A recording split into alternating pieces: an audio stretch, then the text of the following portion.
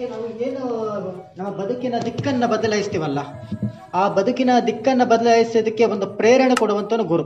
ಹಾಗಾಗಿ ಗುರು ಯಾವ ರೂಪದಲ್ಲಿ ಕೂಡ ನಮ್ಮ ಮುಂದೆ ಬರ್ಬೋದು. ಅದಕ್ಕೋಸ್ಕರವೇ ನಾವು ತಾಯಿಯನ್ನ ಮೊದಲ ಗುರು ಅಂತ ಕರಿತೇವೆ.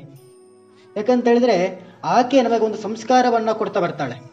ಹಾಗೆ ಸಂಬಂಧದಲ್ಲಿ ನೋಡಿದಾಗ ಆತ ಸಂಬಂಧದಲ್ಲಿ ಹಿರಿಯನಾಗಿರಬಹುದು ಮತ್ತು ಕಿರಿಯನಾಗಿರಬಹುದು.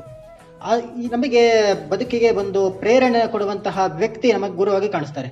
ಯಾಜ್ಞವಲ್ಕಿಯವರು ಮೈತ್ರೇಯಿಗೆ ಗುರುವಾಗಿದ್ದರು ಅಂದ್ರೆ ಸಂಬಂಧದಲ್ಲಿ ಗಂಡ ಹೆಂಡತಿ. ಆ, ಅದೇ ರೀತಿಯಲ್ಲಿ ತುಳಸಿದಾಸರಿಗೆ ಅವರ ಹೆಂಡತಿ ಗುರುವಾಗಿದ್ಲು. ಅಂದ್ರೆ ನನ್ನ ಮೇಲಿರುವಂತಹ ಪ್ರೀತಿಯಲ್ಲಿ ಒಂದೇ ಒಂದು ಅಂಶ ರಾಮನ ಬಗ್ಗೆ ಮೇಲೆ ಇದ್ದಿದ್ದಿದ್ರೆ ನೀನು ಉದ್ಧಾರ ಆಗ್ತಿದ್ದಲ್ಲೋ ಅನ್ನುವಂಥ ಒಂದು ಮಾತಿನಿಂದ ತುಳಸಿದಾಸರ ಬದುಕಿನ ದಿಕ್ಕೆ ಬದಲಾಯಿತು. ಮತ್ತು ಅವರಿಂದ ರಾಮಚರಿತ ಮಾನಸವೇ ಬರೆದ್ರು ಅವರು ಅಕಸ್ಮಾತ್ ಹಾಗೆ ಆ ಮಾತು ಹೇಳದೆ ಹೋಗಿದ್ದಿದ್ದರೆ ನಮ್ಮಲ್ಲಿ ನಮಗೆ ಇವತ್ತು ತುಳಸಿದಾಸ ಸಿಗ್ತಾ ಇರಲಿಲ್ಲ. ರಾಮಚರಿತ ಮಾನಸ ಅನ್ನುವಂತಹ ಒಂದು ಶ್ರೇಷ್ಠ ಗ್ರಂಥವು ಕೂಡ ನಮ್ಮಲ್ಲಿ ನಿರ್ಮಾಣ ಆಗ್ತಿರಲಿಲ್ಲ. ಅದೇ ರೀತಿಯಲ್ಲಿ ಗುರುವಿಗೆ ಯಾವತ್ತೂ ಕೂಡ ದುರಹಂಕಾರ ಇರಲಿಲ್ಲ. ತೈತೀರದಲ್ಲಿ ಒಂದು ಮಾತು ಬರುತ್ತೆ. ಯಾನ್ಯಸ್ಮಾಕ ಗಂಸುಚರಿತಾನಿ ತಾನಿತ್ವಯೋಪಾಸ್ಯಾನೇ, ನೋಹಿತರಾಣಿ ಅಂತ. ಅಂದ್ರೆ ನನ್ನಲ್ಲಿರುವಂತಹ ಒಳ್ಳೆಯ ಅಂಶವನ್ನ ಮಾತ್ರ ನೀನು ಸ್ವೀಕಾರ ಮಾಡು.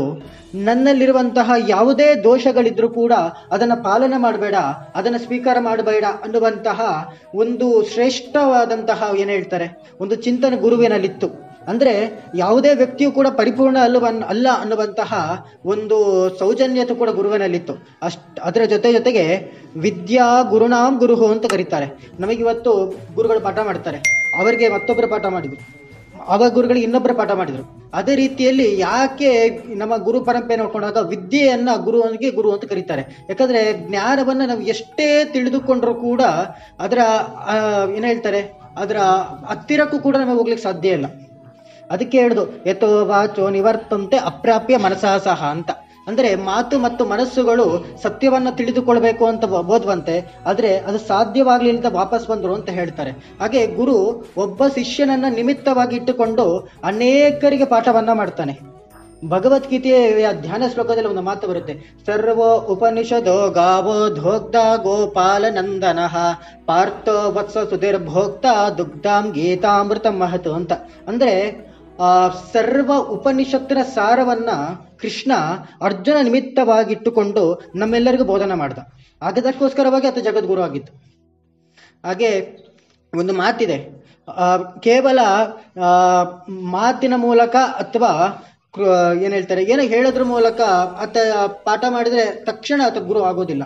ಅವನ ಜೀವನದಲ್ಲೂ ಕೂಡ ಅದನ್ನ ಅಳವಡಿಸ್ಕೊಳ್ಬೇಕಾಗುತ್ತೆ ಸಂಸ್ಕೃತ ಒಂದು ಸುಭಾಷಿತ ಹೇಳುತ್ತೆ, ಅಗ್ನೇಭ್ಯೋ ಗ್ರಂಥಿನ ಶ್ರೇಷ್ಠ, ಗ್ರಂಥಿಭ್ಯೋ ದಾರಿನೋ ವರಹ ದಾರಿಭ್ಯೋ ಜ್ಞಾನಿನ ಶ್ರೇಷ್ಠ, ಜ್ಞಾನಿಭ್ಯೋ ವ್ಯವಸಾಯಿನ ಅಂತ. ಅಂದ್ರೆ ಒಬ್ಬ ಅಜ್ಞಾನಿಕ್ಕಿಂತ ಓದಿದವನು ಶ್ರೇಷ್ಠ ಅಂತೆ. ಓದಿದವನಿಗಿಂತ ಓದಿದನ ನೆನಪಿಟ್ಟುಕೊಂಡವನು ಶ್ರೇಷ್ಠ ಅಂತೆ. ಓದಿದನ ನೆನಪಿಟ್ಟುಕೊಂಡವನಿಗಿಂತ ಅದನ್ನು ಅರ್ಥೈಸಿಕೊಂಡವನು ಶ್ರೇಷ್ಠ ಅಂತೆ. ಹಾಗೆ ಅದನ್ನು ಅರ್ಥೈಸಿಕೊಂಡವನಿಗಿಂತ ಅದನ್ನು ತನ್ನ ಜೀವನದಲ್ಲಿ ಅಳವಡಿಸಿಕೊಂಡು ಇತರಗೂ ಕೂಡ ತನ್ನ ನಡೆ ಮತ್ತು ನುಡಿಗಳ ಮೂಲಕ ಮಾರ್ಗದರ್ಶನ ಮಾಡೋನು ಇನ್ನೂ ಶ್ರೇಷ್ಠ ಅಂತೆ ಅಂತಹ ಗುರುಗಳು ನಮ್ಮವರು